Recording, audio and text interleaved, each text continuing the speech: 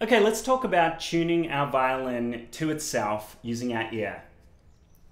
First of all, you have to have one note in tune uh, in order to start tuning the other strings to that note. So usually, if I'm sitting in a jam session or I'm about to play with a band, I'm listening to someone who has tuned up their instrument or what the general tuning of the jam is because sometimes when you're in a jam, it's not always consistent.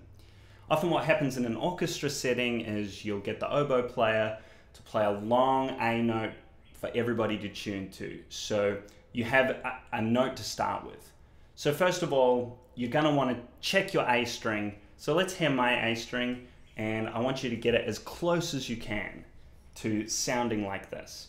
Now, when you are playing your A string along with me, I want you to be listening to the difference between the two sounds that is coming at you.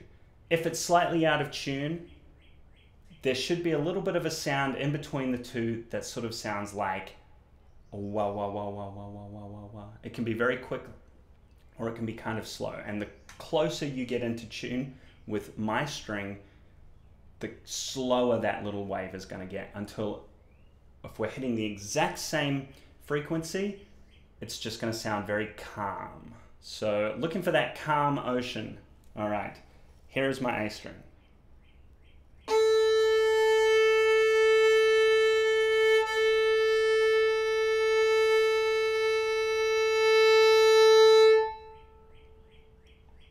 Before we get started, I just wanted to remind you all to please subscribe to my YouTube channel and like this video.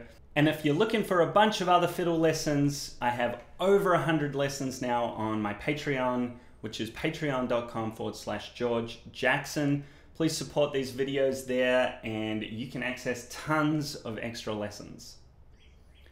Okay, now that we have our A string in tune, we're going to check the E string. Now, we're going to want to play our A string and our E string at the same time. Now, if you can, you're going to want to bring your hand around so that you can adjust the fine tuners. Um, we're assuming that your string is only slightly out of tune. Uh, we're not going to have to use the big uh, friction pegs at the top of the violin um, to make a big movement. We're pretty close, so I'm going to just slightly knock my E string out of tune. And what again, what, what we're listening for here is that difference between the two notes. Now, this time we're not looking for the exact same note because we're looking for the interval of a perfect fifth. And in between an out of tune fifth and an in tune perfect fifth, you are going to hear a similar sort of difference wave that is going to indicate that you're out of tune. And then when you hear it go completely still and calm, that's when the interval is in tune. So have a listen to me tune my E string. It's going to be it's going to start slightly out of tune. So here it is. Okay. What you're hearing there is it's quite out of tune. So that frequency is really dissonant, right? That that sort of stormy ocean, if you will, is really going oh, wah wah wah wah wah wah wah wah. so it's happening very fast. And as I move the E string closer in tune, you're going to hear that wave slowing down until it just reaches that full calm interval. Have a listen.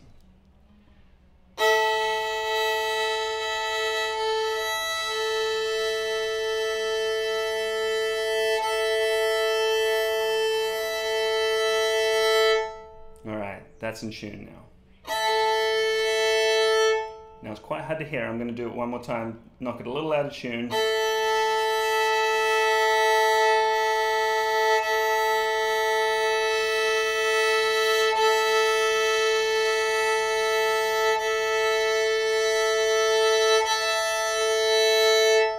In tune there. Okay. Now I was mo slowly moving it out of tune and then back in tune and see if you can have a listen to that and find the differences there listening to that very fast sort of dissonant wave and then the wave sort of slows down as you get it in tune. Let's try it with the D string now. So I'm going to knock my D string a little out of tune here. And that's wah, wah, wah, wah, wah, wah, wah, wah, wah.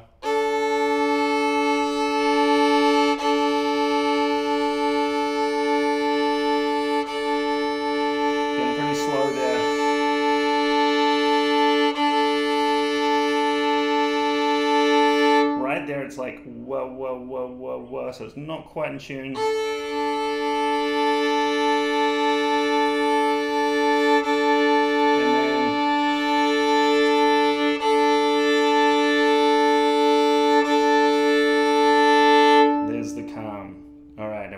time with the G and the D string.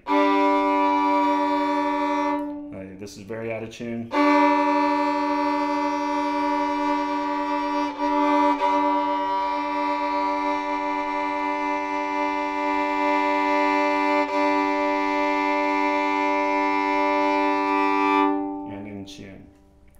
Okay, it takes a little bit of practice, so don't expect to get it straight away.